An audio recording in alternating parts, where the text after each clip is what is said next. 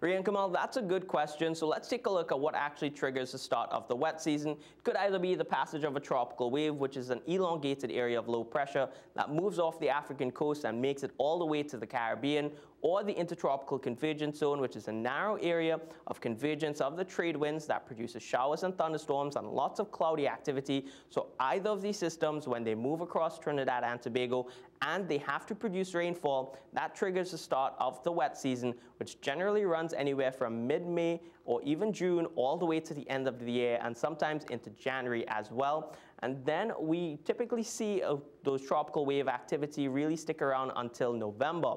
So not every tropical wave produces rainfall and keep that in mind because the Met Office is monitoring a tropical wave that is two hours south and east. You're not seeing a lot of activity on satellite imagery, but we can see it using other tools uh, available to us.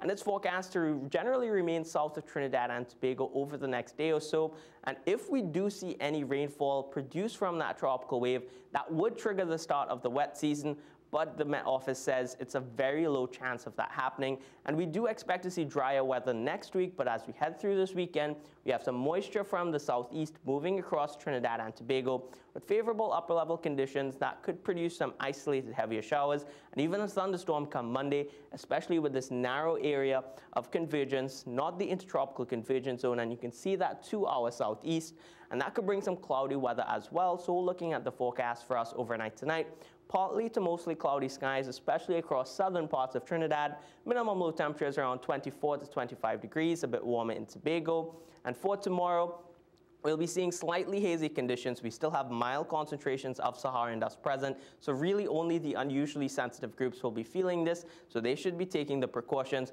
We're starting off mild with minimum lows around 25 degrees, warming up to another 32 degree day, but we will be seeing some isolated showers across the country. Could even see an isolated heavy shower favoring southern parts of Trinidad, so walk with the umbrellas tomorrow, as well as the water and sunscreen. And if you're heading to the beach, well, here's what you can expect season open waters waves up to 1.5 meters. In sheltered areas, seas will be near calm, and that's because we have winds decreasing as we head into the weekend with no marine advisories in effect.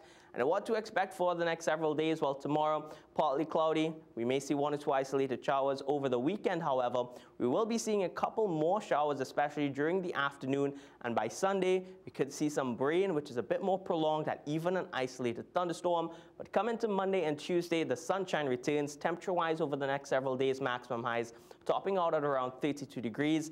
So if you're doing something this weekend for Mother's Day, especially on Sunday, maybe consider moving your plans indoors. Back to you.